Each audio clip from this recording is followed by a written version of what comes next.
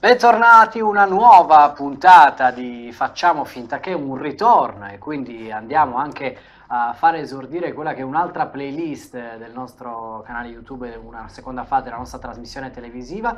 Perché? Perché ritorniamo a grande richiesta insieme a un nostro grande amico, Marco, a Marco Enrico De Graia, che io ti devo anche ringraziare pubblicamente per tutto l'aiuto e il supporto che ci dai. No, assolutamente, è un piacere. Perché è veramente un amico, ha dimostrato... Tanto salutiamo, salutiamo tutti gli ascoltatori. Eh, ha dimostrato entusiasmo da, dalla prima puntata, da, dall'inizio di questo progetto che ricordiamo, voi vedete eh, ora eh, che siamo un po' in questo 2021, ma eh, nasce anni fa, anni fa. Sì, sì, È stato sì, in incubazione sì. per un po' di E tempo. ci ha messo sì, un parto piuttosto lungo, sì. neanche gli elefanti riescono. non avevamo fretta, Non noi siamo, fretta. siamo venuti così Però- alla luce. Quando... Però dobbiamo dire che eh, il risultato è stato buono, no? Beh, Abbiamo... eh, Lo lasciamo dire a voi, però per ora Sì. devo dire che grazie a, a puntate come la tua scorsa che vi invito fin d'ora ad andare subito a recuperare perché quella sulle divinità blu, sugli dei blu, sulle- Ah, sì. sugli uomini blu ha riscosso un grande successo, quantomeno Sì. anche a livello di auditor televisivo, anche se non è carino parlarne.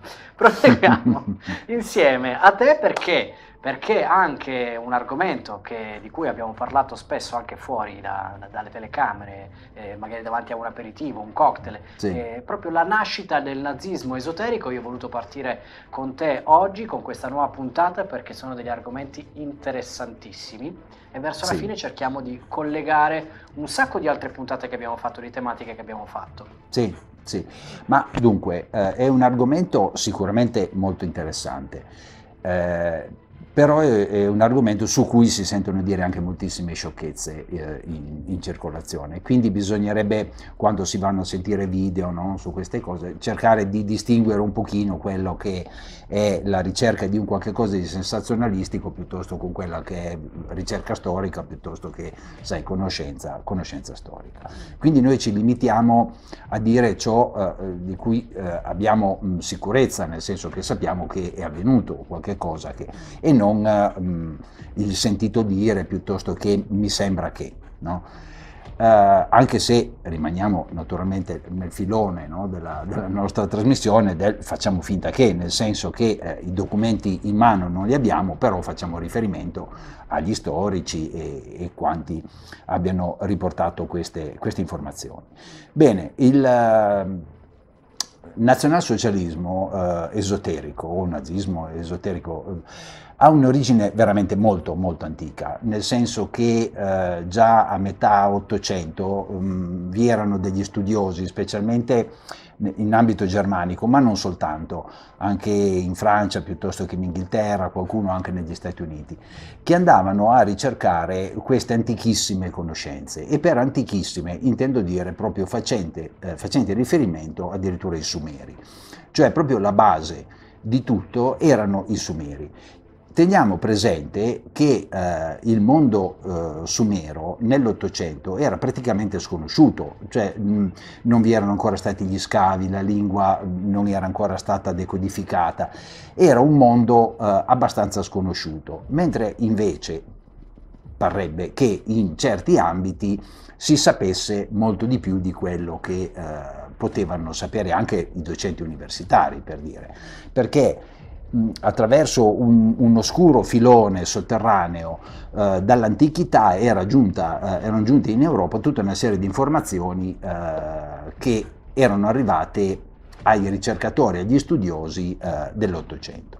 Bene, nell'Ottocento incominciano a uscire una serie di libri eh, su Shambhala, eh, sul Terra Cava, su tutta una serie di informazioni che arrivavano dall'Oriente, soprattutto dal Tibet, eh, dal buddismo esoterico, dai Veda, eh, soprattutto grazie all'impulso che diede Madame Blavatsky con eh, la sua teosofia e con tutti gli studiosi che seguirono, che portarono eh, l'Europa e gli Stati Uniti a conoscere un mondo che fino a quel, a quel punto era un mondo un po' sconosciuto, insomma l'avevano fatto conoscere gli inglesi, ma si limitava ad essere, sai, la caccia alla tigre con l'elefante, Mm, voglio dire, non è che fosse un mondo conosciuto per la sua sapienza, per la sua antichissima, antichissima sapienza.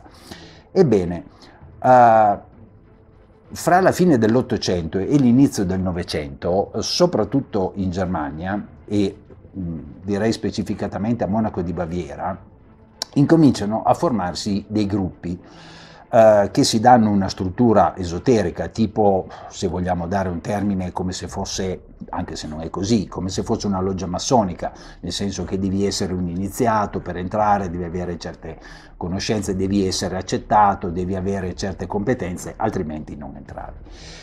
Ecco che eh, una di eh, queste organizzazioni eh, ottiene una certa qual um, così fortuna, no? un certo qual sviluppo, che sarebbe eh, Thule, che ufficialmente dopo, un po' di tempo dopo la prima guerra mondiale sparisce, però mh, sembrerebbe che sia rimasta nella, uh, nella conoscenza, insomma un po' mh, così uh, al di sotto, soprattutto perché i suoi componenti erano andati a formare la classe dirigente del Partito Nazionalsocialista ad esempio Rudolf Hess, uh, Heinrich Himmler, uh, Rosenburg, Darré, che furono ministri, furono cioè, mh, quelli che uh, sostanzialmente comandavano la Germania mh, alle, spalle, alle, spalle, di Hitler. Hitler era la figura di rapporto con il popolo, era quello che magari dava i comandi, però in realtà chi, chi comandava dietro erano, erano questi personaggi.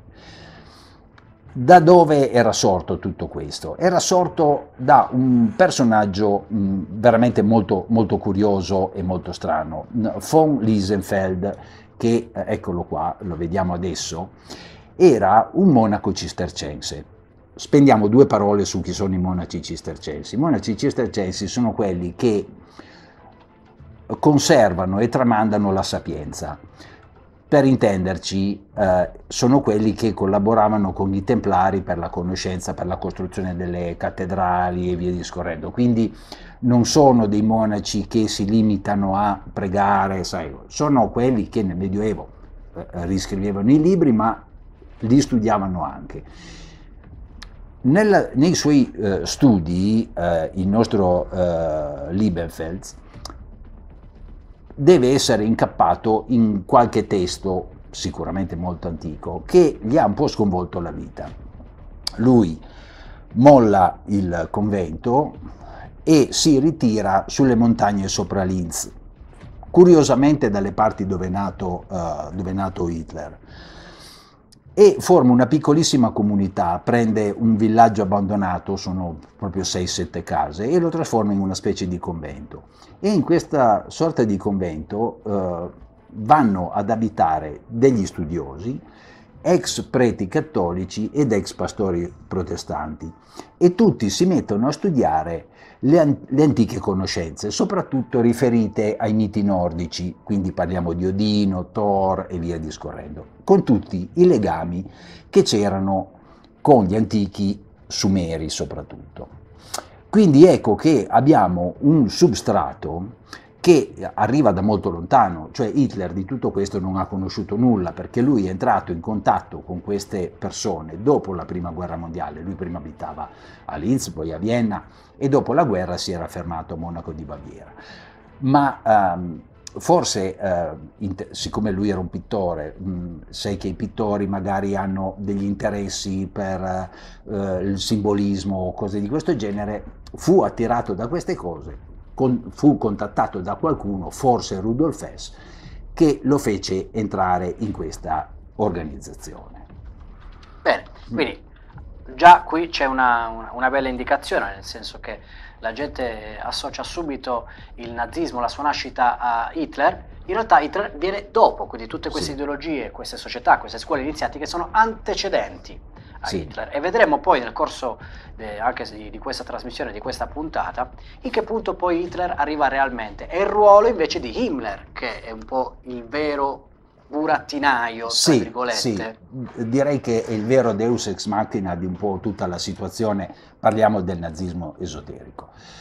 Il nostro Himmler ehm, si, promuove, organizza, eh, fonda le SS, eh, quindi la parte mh, che doveva rappresentare i nuovi cavalieri teutonici, no? quindi i cavalieri medievali ma visti in, in una veste moderna, che avevano un compito. Ufficialmente erano le guardie militari dell'organizzazione no? del partito, perché allora tutti i partiti, siccome era un'epoca piuttosto burrascosa, soprattutto dopo la prima guerra mondiale, sia i socialdemocratici che i comunisti, che i nazionalisti, che quindi anche il Partito Nazionalsocialista avevano una sua organizzazione paramilitare che serviva per proteggere le manifestazioni, eccetera, eccetera. Le SS furono uh, questa sorta di servizio d'ordine del, del partito nascente, Partito Nazionalsocialista, e uh, furono organizzate fondate da Himmler, ma lui gli diede subito un'impronta diversa, cioè chi entrava uh, nelle SS non lo poteva fare soltanto perché era fedele al partito, ma doveva assolutamente entrare in una mentalità e seguire una serie di corsi che lo dovevano portare ad avere certe qual conoscenze. Uh, sappiamo che uh, i sia i militari che i sottufficiali, che, perché le SS erano organizzate veramente come un esercito, no? un, piccolo, un, piccolo, esercito ma aveva i suoi gradi, no? uh, avevano nomi completamente diversi, però c'era il caporale, il sergente no? e via discorrendo fino al colonnello, il generale. Eh, e uh, dovevano seguire dei corsi uh, in cui imparavano tutta una serie di informazioni partendo dalle cose più eh, basiche, ad esempio quelle eh, sulle, sulla cultura eh, nordica, quindi le rune, quindi i druidi, quindi gli antichi dei, no? tutte le mitologie eh, del nord, quindi la guerra fra gli dei buoni e gli dei cattivi, il, eh, uh, Odino, il suo cavallo, il, Thor che viaggia sul, su, con il carro, insomma tutte, tutte queste cose qua, no? dovevano imparare quello. Poi chi si dimostrava uh, più attento, più, che aveva delle capacità maggiori, delle possibilità maggiori, ecco che uh, lo fanno entrare ad un livello di segreti maggiore fino ad arrivare a un certo punto di conoscenze che noi non sappiamo più quali sono, perché non, non ve ne traccia, no? non, non, hanno riportato dei, eh, dei, documenti, però sappiamo che avvenivano dei riti, dei riti che ufficialmente erano dei riti ehm, che derivavano dall'antichità, no? quindi eh, che erano svolti dai vichinghi, dagli antichi germani, dagli antichi celti, quindi delle riunioni eh, notturne in cui questi cavalieri eh, si mettevano in un in cerchio con le torce, insomma, eh, e avveniva una qualche forma di rito. Eh, in questi, in questi riti venivano evocati gli antichi dei perché dessero la protezione ai cavalieri, eccetera, eccetera. Uh, ecco che uh, il, il, Sole Nero, vedo, vedo l'immagine, ecco le, esattamente questa. Questa la facciamo vedere la, anche voi a casa. Sì, la facciamo, la facciamo, vedere subito. Questo è il pavimento intarsiato del uh, castello di Webelsburg, no? Questa qui è la rappresentazione di una runa eh, che veniva identificata come una runa molto potente, eh, perché ad ogni runa viene dato un livello di, eh, di, forza maggiore, perché vengono usate anche come talismani, no? secondo antiche tradizioni. Ebbene, questa qui rappresenta il sole nero. Ora, il sole nero può identificare due cose.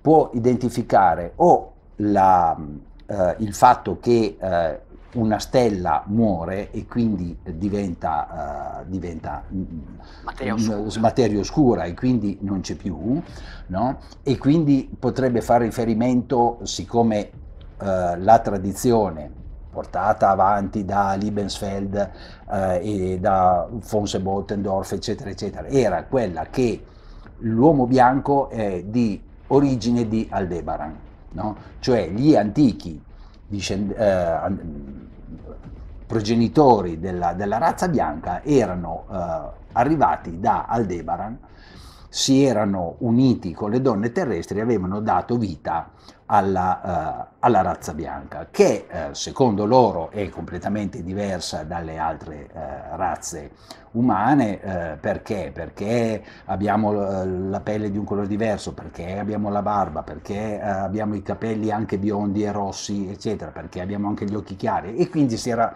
costruito tutto questo mito sulla differenza delle razze, ma non tanto una differenza dovuta al fatto che eh, eh, io eh, sono più bello e quindi no, tu sei inferiore, ma per il fatto che le altre erano razze terrestri oppure di origine di altri pianeti, mentre invece, eh, perché vi è tutta la teoria riportata anche sulla Bibbia, eccetera, eccetera, che le, le varie razze umane sono state create da questi angeli, fra virgolette, no? che sono venuti sulla Terra a creare gli esseri umani, ce lo insegnavano i Sumeri, ce l'hanno insegnato i, gli antichi cinesi, ci sono le tradizioni nell'Egitto, no? cioè tutte, in tutte queste tradizioni abbiamo queste popolazioni che eh, si eh, ritengono discendenti di mh, mm, qualcuno. Uh, ad esempio, vi faccio solamente un esempio, uh, sul Corano vi è scritto chiaramente che Allah è il Signore della terra e di Sirio. No? Quindi eh, si fa un riferimento, eh, secondo certi esegeti islamici, che il, il mondo semitico è legato come origine, come origine a Sirio noi non lo sappiamo, non lo possiamo sapere, ma questo c'è scritto, c'è scritto sul... Tanto noi facciamo finta, quindi nessuno si può sentire offeso, ma nel fare finta vi raccontiamo delle cose. E l'anello conduttore, un po' l'anello comune, il filo conduttore unico, lo si, lo si evince. E voglio sottolineare un po' in base a quello che ci hai detto, quindi ci colleghiamo anche con le altre puntate, i Veda, oltre 400.000 specie umanoidi sì. nello spazio, molte delle quali sono passati da questo pianeta, ma poi soprattutto è, è molto interessante, chiederei al nostro Manuel in regia di farci vedere le, le, un po' il collegamento con i Sumeri, i Sumeri di cui tanto ci avete chiesto e ci colleghiamo, intanto andiamo a vedere quindi anche qui una sorta di déjà vu su questa, sì, su sì. questa nascita di, de, della razza umana, questi, questi dei Sumeri, Enki, Enlil e via discorrendo. Li andiamo a vedere. Questo gesto, fra l'altro, è molto interessante perché lo andiamo a paragonare. Ecco, io ti chiederei, bravo, di sì. aspettare un attimo su questa immagine di, eh, di queste due divinità sumere, eh, perché vorrei farvi notare eh, mh, alcuni particolari. Uh, innanzitutto uh, hanno rappresentate sul retro le ali. Uh, queste sono una rappresentazione simbolica per indicare che era una divinità. No? Le ali rappresentano, quando noi vediamo delle, eh, dei bassorilievi o delle sculture o comunque un qualche cosa che arriva dal mondo sumero, possiamo avere delle rappresentazioni umane o delle rappresentazioni di dei o semidei. Quando mh, vediamo che dietro la persona vi sono le ali è perché questa è identificata uh, come divinità. Le ali perché questi sapevano volare, cioè nel senso che discendevano dal cielo. Ma facciamo attenzione, sull'elmo uh, si vedono uh, tre corna nel caso specifico. Queste eh, indicano il livello eh, di, della gerarchia degli dei. Questa è una divinità già di alto livello, perché ha tre, eh, tre corna. Il massimo no, eh, che potevano arrivare eh, era 4 o nel caso di Enli ed Enki potevano arrivare a 5. Ecco. Non, eh, quindi quando noi vediamo nel, nel, mondo nordico i Celti, i Germani, i Vichinghi che hanno l'elmo con le corna, no? è proprio un retaggio di, questa, di, di, di, questo simbolo perché loro si identificavano sì come uh, discendenti no? di, queste divinità, uh, però erano di un livello basso, quindi ecco che avevano uh, solamente due, due corna. Ma lo notiamo anche ad esempio su Asterix, chi era il capo, o anche Odino viene rappresentato, viene rappresentato con l'elmo che aveva le due eh, ali. No? Questo perché lo rappresentava come già una divinità, cioè un qualcuno che era, era superiore. Dalle capacità superiori. E, e, fra l'altro ricolleghiamoci invece sì, a, al gesto. A, facciamo la, la, la, gestualità, perché anche qui, sì. quindi apriamo una piccola parentesi, poi ritorniamo eh, in sì. ambito temporale a quello che stavamo dicendo, ma il saluto, quindi la gestualità eh, che abbiamo, lo vediamo sempre associato a Hitler, lo andiamo a sì. vedere, questo simbolo qua, sì. che da non confondere con il saluto romano che è tutt'altro. Sì, allora il saluto romano si diffuse eh, nel Novecento un po' in tutta una serie di eh, ambienti, eh, pare che fosse stato il nostro D'Annunzio a, a presentarlo la prima volta, che eh, serviva come contrapposizione al pugno chiuso eh, all'epoca dei socialisti e dei, e dei, comunisti.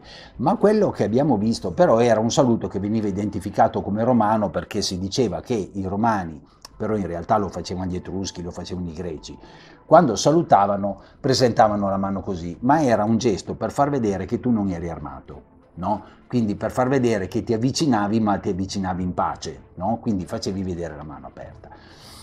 Mentre invece quello che eh, vediamo in, in, questa raffigurazione di Hitler è un gesto che è diverso, è un gesto che ehm, comporta una figura, tu che sei esperto de, de, del mondo indiano, eccetera, io non voglio dire che abbia una qualche eh, corrispondenza con eh, non solo yoga o cosa, però il, il mettere la, il corpo in certe posizioni può portare ad avere delle, eh, eh, delle possibilità, delle, sì, de, de, de, de, movimenti, cioè catalizzatori piuttosto che emanatori di certe energie. Ecco qua.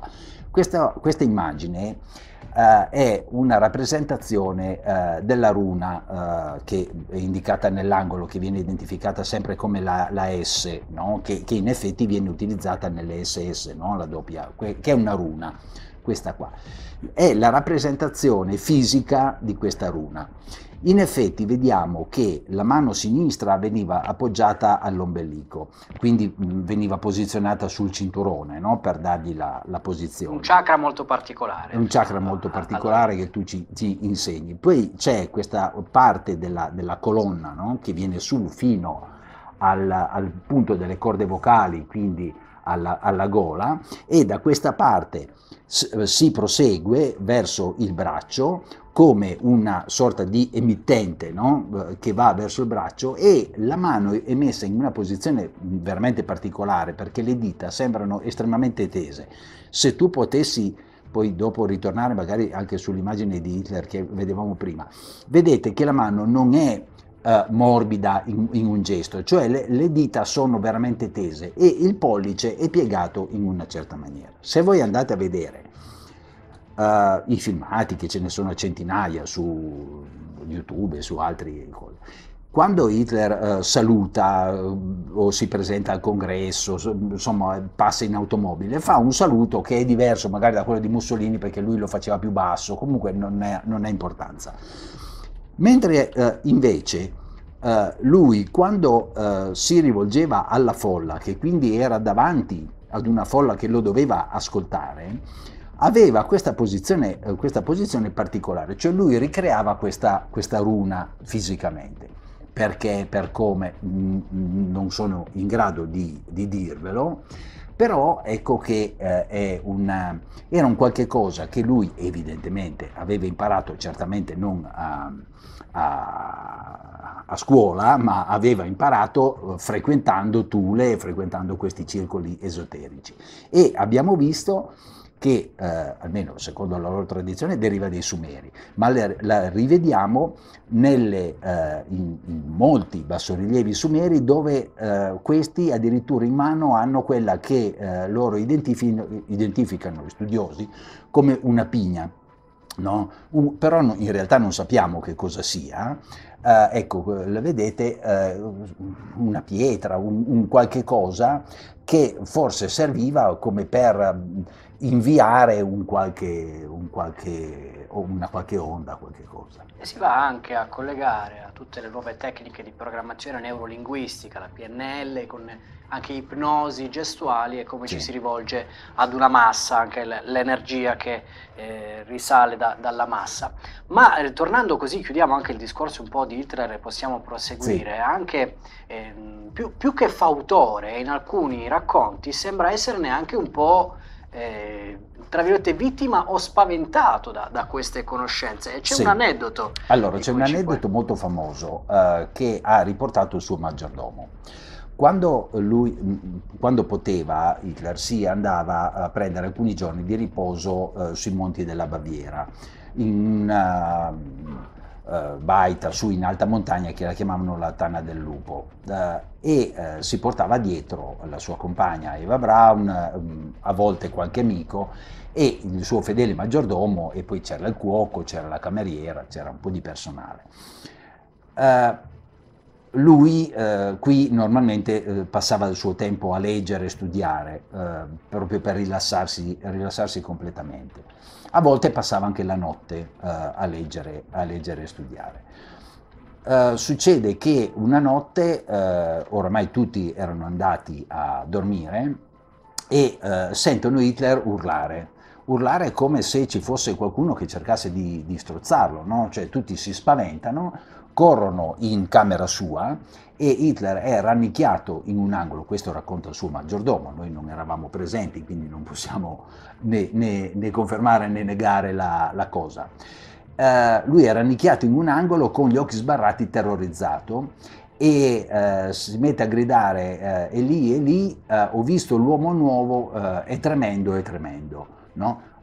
Tutti eh, si avvicinano, eh, lui dice no, è andato via, non c'è più, non c'è più, lo tranquillizzano, eh, sapete che Hitler l'unica bevanda a parte l'acqua che beveva era la camomilla, no? perché da giovane beveva la birra, poi entrando in Tule cose, è diventato vegetariano, beveva soltanto la camomilla, eccetera, eccetera. Insomma, gli fanno una tisana, qualche cosa, cercano di tranquillizzarlo e lui dice che ha visto l'uomo nuovo, ossia l'uomo che sarebbe dovuto nascere in futuro dalla- dall'evoluzione della, della razza umana e dice che ne era rimasto spaventato, ma non per la forma, perché eh, non era eh, certamente un demone secondo certe visioni, ma era un, non sappiamo, forse con una potenza, forse emanava luce, non, non sappiamo, non sappiamo. Però si è spaventato e qui Si ci ricolleghiamo anche alla Blavatsky in cui gli ariani vengono citati Sì. e possiamo anche proseguire il nostro collegamento perché l'abbiamo detto, quindi andando a riprendere un po' lo schema da cui nasce un po' la, la svastica, questa croce uncinata come meglio Sì. chiamare, appena il nostro Manuel ce la, ce la fa di nuovo vedere, in realtà vediamo ancora un, un elemento che Sì. è quello qua, perché abbiamo visto il sole Sì. Thule, la teosofia, quindi di nuovo la Blavatsky, Blavatsky. e vediamo un po' il Vril. Vril. Eh, dunque, tu hai citato la svastica, devo eh, farti notare una cosa, perché addirittura nei film è stato presentato, è una, è una cosa assolutamente mh, non vera, no? Cioè si racconta che eh, fu Hitler a inventare la bandiera eh, del nazionalsocialismo un- durante una cena presentata con, con degli amici, e- eccetera, eccetera, dice no, questo sarà il nostro vessillo. Non è vero, fu invece von Lie- eh, Liebensfeld, cioè il monaco, fu lui a identificarla, disegnarla e a cucirne la prima e aveva un simbolo particolare, ossia il- il- lo sfondo rosso, eh, onestamente non ti so dire il, il significato, ma il cerchio bianco era il simbolo del sole, ma non giallo come il nostro, cioè un sole molto più potente, quindi direi che potesse essere quello di Aldebaran, non lo sappiamo, ma è curioso per un particolare la svastica che viene utilizzata eh, dal nostro Liebesfeld e quindi dal nazionalsocialismo è uguale ma contraria a tutte quelle che sono presenti dall'antichità eh, nel, mh, nella storia umana, perché noi le troviamo in Tibet, le troviamo in Cina, le troviamo in India, fra i Sumeri, a Roma, eh, fra i Celti, in Grecia e via discorrendo, ma sono tutte girate dall'altra parte. Il nazionalsocialismo invece ce l'ha eh, eh, girata da questa parte. Qual è il motivo?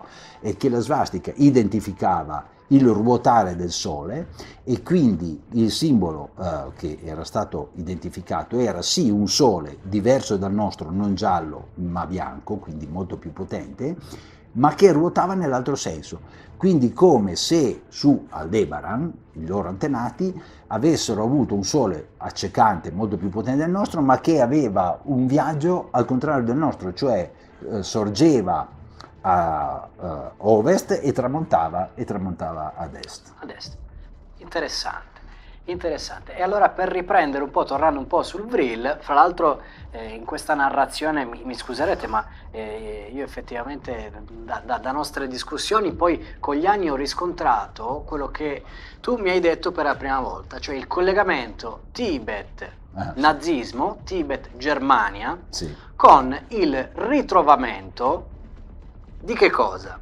Di monaci tibetani, o in questo sì. caso ormai quindi monaci che hanno combattuto, quindi cadaveri di monaci sì, tibetani sì. che fino all'ultimo sì. hanno difeso il centro di Berlino, sì, il, il, il cavò, il bunker, bunker, in cui Hitler pare, secondo alcune versioni, avesse avuto la, la sua fine. Sì. E quindi questo collegamento, fra l'altro sono, eh, se non mi sbaglio, documenti che i russi hanno trovato. Li hanno trovati in Russia, entrando sì, per perché, primi. Perché sono entrati a maggio, sì, sono entrati i russi, sovietici nel caso specifico, eh, entrarono a Berlino il, il 4 o il 5 di, di maggio e eh, la strenua difesa del bunker fu fra altri, no?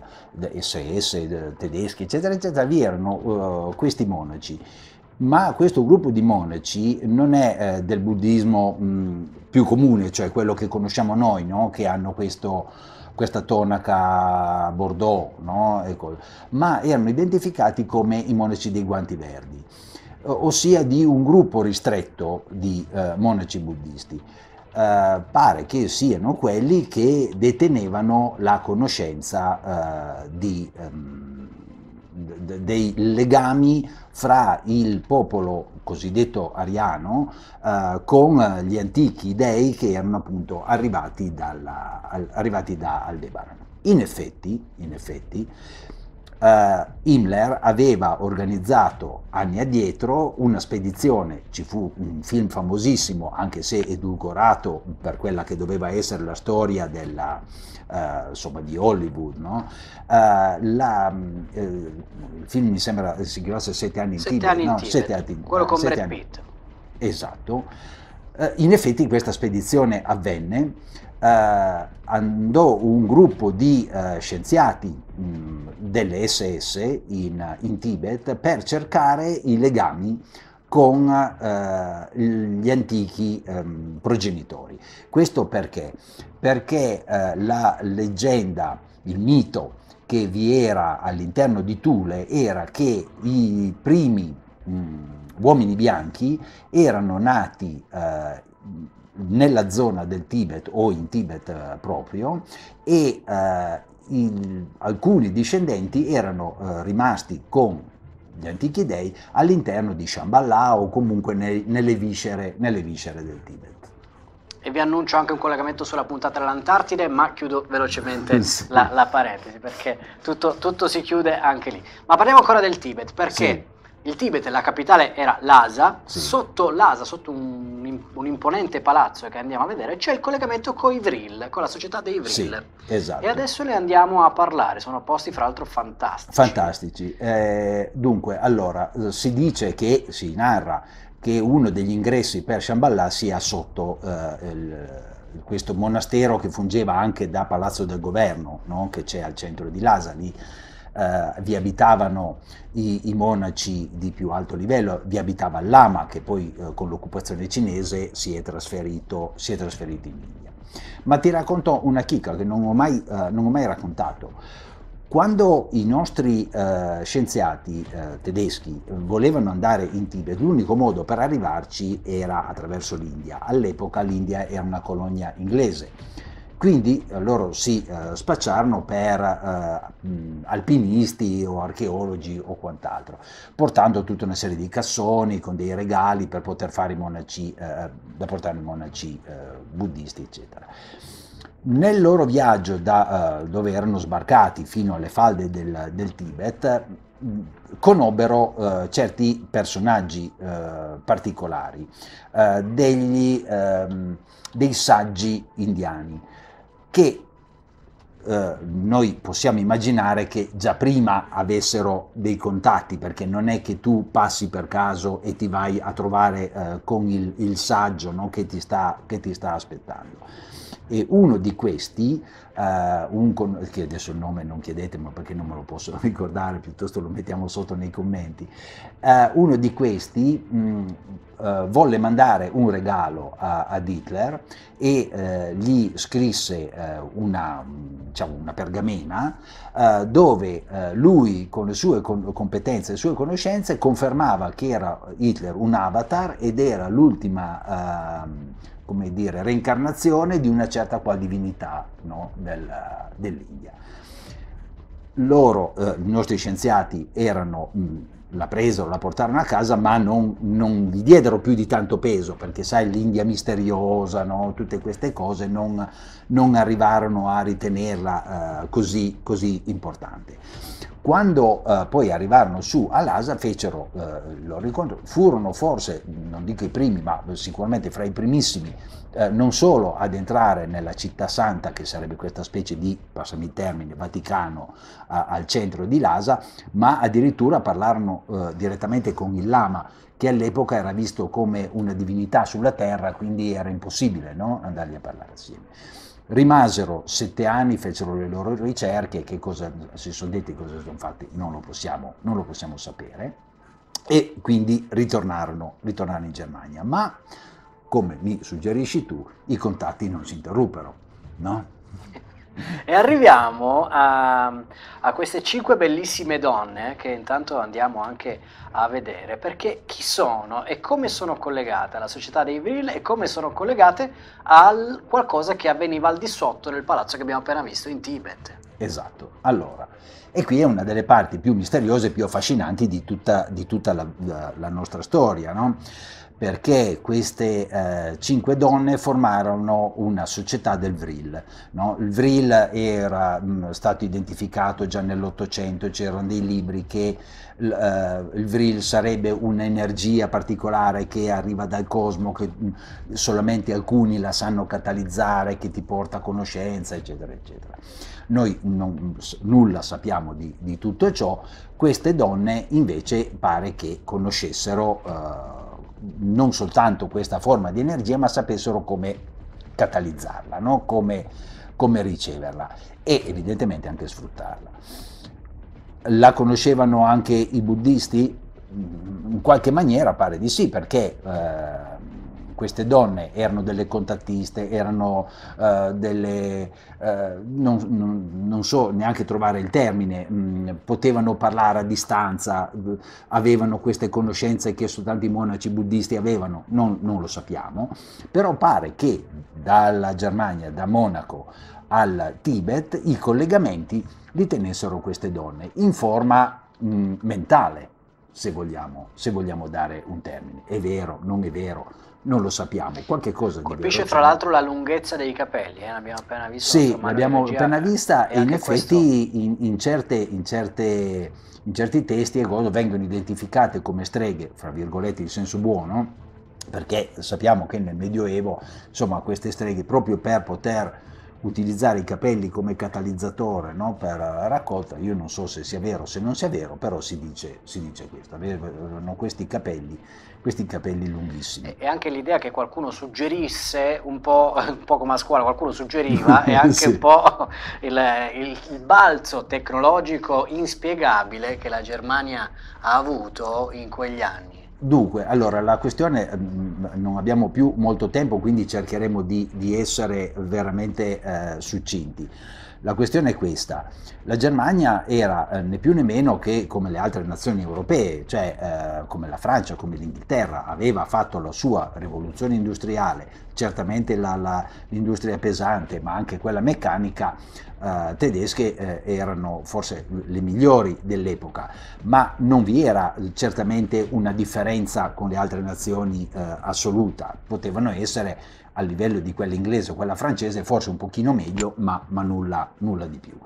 Mentre invece eh, subito dopo la, la, salita al potere del Partito Nazionalsocialista, ecco che eh, questo gruppo di donne eh, riescono ad avere tutta una serie di contatti, riescono, si narra che avessero avuto, ottenuto in cambio tutta una serie di informazioni da chi, non lo sappiamo, tramite questi monaci buddisti. La, il mito, la leggenda dice che questi monaci buddisti erano in contatto con entità no? di, di, di, mh, del passato, di altri pianeti, degli antichi dei, non, non, non lo sappiamo, eh, forniscono una serie di informazioni tecnologiche che le fanno pervenire alle nostre, alle nostre contattiste, queste senza sapere di che cosa stanno parlando fanno schizzi, disegni, riportano ciò che gli viene detto e queste informazioni vengono passate a chi? A Werner von Braun eh, che era capo del progetto di Penemunde. F- eh, Werner von Braun, che qui vediamo in una bellissima immagine post guerra, era uh, un ingegnere uh, tedesco che fu, uh, e qui è accanto a Kennedy prima del, del 62, insomma perché poverino Kennedy ha fatto una brutta fine, però Kennedy sponsorizzò moltissimo mh, la questione della, della, NASA.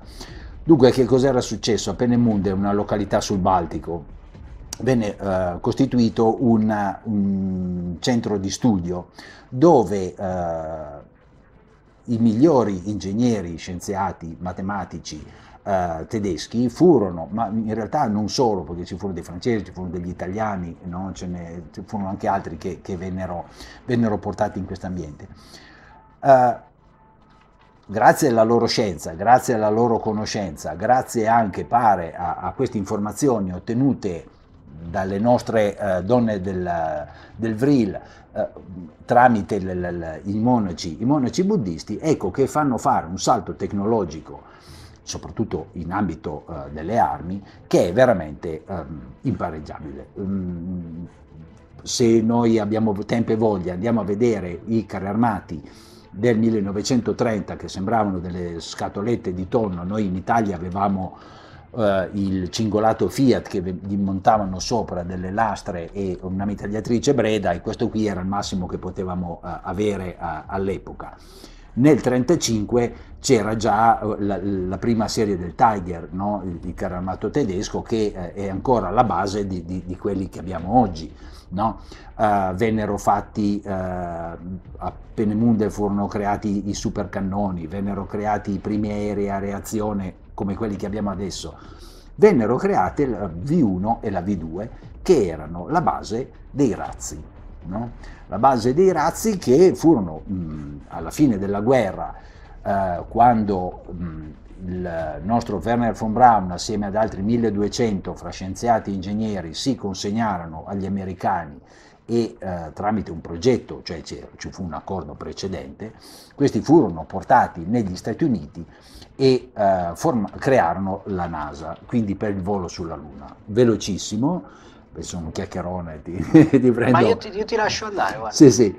Ora cosa succede? Che alcuni di questi che vennero portati negli Stati Uniti, fra questi vi era l'ingegnere Schnell, che invece fu dirottato assieme ad altri scienziati in Inghilterra, eh, formò la British, quello che è la, la, diciamo, la, corrispondente della NASA inglese, che però per mancanza di fondi non poté fare la corsa allo spazio, allora furono riciclati nella uh, progettazione di motori e i motori Rolls-Royce, compreso l'ultimo che fecero, poi uh, erano anziani, fu quello del Concorde cioè i motori Rolls-Royce, cioè i migliori motori aerei al mondo, erano fatti da questi ingegneri tedeschi eh, che si erano trasferiti. Meriterà poi una puntata a parte quello sì. che è accaduto al nazismo dopo la guerra, dopo. ma adesso anche, giusto per fra l'altro, per farvi capire anche un po' quanto in realtà l'Oriente, l'India, il Tibet abbiano influenzato la, la, un po' la tecnologia tedesca, si parla un po' del cosiddetto UFO, velivolo sì. strano del sì. nazismo, che è palesemente un Vimana Ecco, Sostanzialmente sì. anche quello è un'ulteriore prova. Ma arrivando poi quindi alla guerra, la, il caso un po' eclatante, un po' il mistero di fondo, è quelle le donne di cui abbiamo parlato, le donne di questa società dei Vril scomparvero improvvisamente eh, fra la fine di aprile e i primi di maggio del 45. Allora, una delle teorie è che queste donne assieme a diversi gerarchi, diverse SS, gli irriducibili ed altri, eh, furono imbarcate su eh, degli U-boat nel Bar Baltico e andarono nella base eh, della Nuova Svevia in Antartide, dove risulta che furono anche portati eh, i, dunque, pare che di questi eh, venivano chiamati a Nebu, questa sorta di dischi volanti, ma erano dischi volanti nel senso che erano sì fatti come dischi volanti, ma erano degli aeroplani uh, di, terrestri, cioè non era nulla di extraterrestre, no? erano viti e bulloni con motori, motori particolari. Ne vennero messi in funzione dagli 8 ai 10 ci sono, ma ne parleremo, faremo una puntata su questo, perché ci sono testimonianze di piloti inglesi. Merita non una puntata, una serie di puntate. Fra sì. l'altro cominciate fin d'ora ad andare a guardare anche quello che abbiamo già realizzato sull'Antartide, andate ogni tanto a guardare le puntate precedenti. Ma io come ringraziamento finale intanto voglio raccontare che tu hai un, un canale YouTube che loro sicuramente conoscono, ma è giusto anche ripassarlo perché sì. è interessantissimo. Marcus Henry De Graia, sì, iscrivetevi perché veramente veramente, eh, lo, lo, posso dire, uno de, de, dei personaggi più, più, eclatanti che mi è capitato di, di conoscere, in quanto a conoscenza no, penso che tu abbia ben pochi rivali, eh, rimanendo um, umili. No, eh, e soprattutto la cosa che sì. mi fa piacere sì. è che questa è la seconda puntata e ti ritrovo televisivo. Hai preso i ritmi televisivi meglio di me. Perché abbiamo riassunto quello che secondo me è una conferenza di 4 ore sì. in 40 minuti. Sì, è vero, è vero. Quindi sei vicini. veramente sei una sorpresa costante ogni volta che, che ci vediamo.